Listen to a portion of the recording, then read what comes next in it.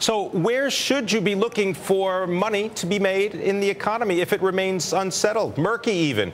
My next guest says that there are some blue chip stocks that could be the answer. Charles de Lardemelle is the portfolio manager at International Value Advisers.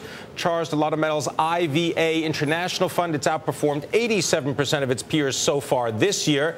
Charles, Chuck, good to have you with us on Pimm. Taking Stock. Thank you. So, what's the thesis? A murky outlook for the economy makes it more difficult to pick stocks? Well, it's a difficult market for investors because I think it's a, uh, it's a contrasted picture. On the one hand, you have a sluggish economy. On the other hand, you have uh, extremely profitable companies throughout the world. If you look at corporate profits as a percentage of GDP in the US, it's close to an all-time high, which is counterintuitive Uh, given the fact that the economy is growing very slowly. So you've got good news on the corporate front in terms of profits, murky or bad news when it comes to the general economy.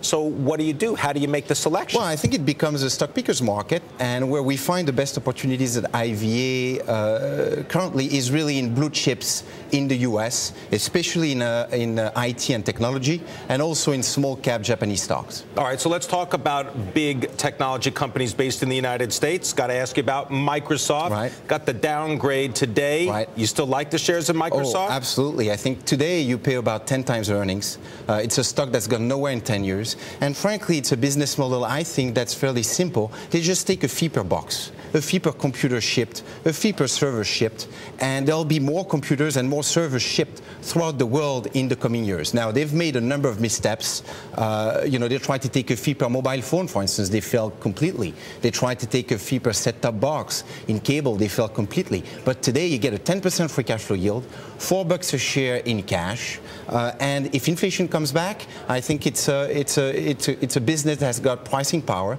and so uh, what's not to like? All right, what's not to like about MasterCard? You view that really as a technology company? It's not something that is going to be offering credit to people. That's what the banks do that use That's the MasterCard right. and the Visa system. That's These right. are just technology intermediaries. Yes, and I think there is a misperception about MasterCard, a misperception that they take the bulk of the fee that's being charged to the merchant. But that's not the case.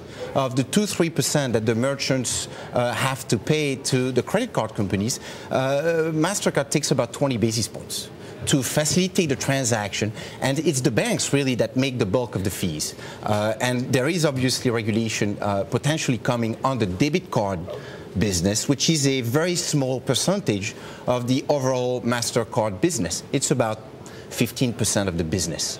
Uh, I, we don't think that the fees are going to be cut for MasterCard, but even if they were, it's only 15% of business.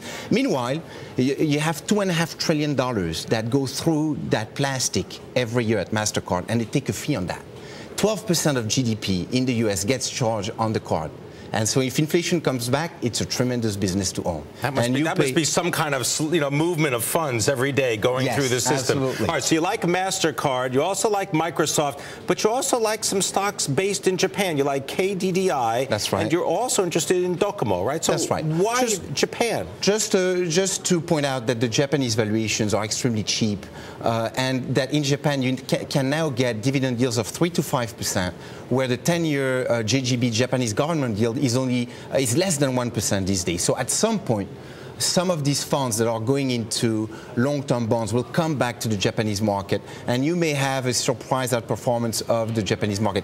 In the meantime, we'll, we'll bank the three to five percent dividend yields with no debt on the balance sheet, uh, and hope for the best. And you bank those 3 to 5% dividend yields in Japanese yen. You That's translate right. those back into U.S. dollars. The yen strengthens. Let That me helps guess, that's also a bet on the decline yes, value yes. of the U.S. so dollar. especially if you're not owning exporters, you should be careful about the yen because one of the difficulty would be if the yen were to weaken. So we do hedge uh, close to 50% of our yen exposure to mitigate uh, the potential uh, weakening of the yen. Do you think that's going to continue? Do you think the yen is going to continue to strengthen, or are we going We're to not sure. kind of- We're not sure, but we own mostly non-exporters, which is which is unusual uh, when you have a, a, a portfolio of Japanese stocks. And since we have non-exporters, they would not benefit from the yen weakening. So we, we prefer to be cautious and we prefer to hedge about half of our yen exposure. And stay domestic in Japan. Correct. I want to thank you very much. Uh, Charles de Lardemelle coming to us from IVA.